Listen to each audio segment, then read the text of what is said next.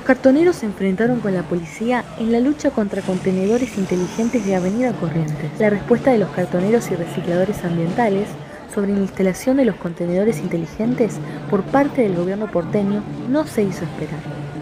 Este martes 16, desde las 17 horas, integrantes de la Federación Argentina de Cartoneros y Recicladores se juntaron en la esquina de Corrientes y Callao para evidenciar su rechazo a la idea creada por el Ejecutivo porteño. Vamos a exigir que los retiren a todos, aseveraron desde una de las cooperativas que participaron en la marcha. Otras agrupaciones también protestaron desde la zona del obelisco.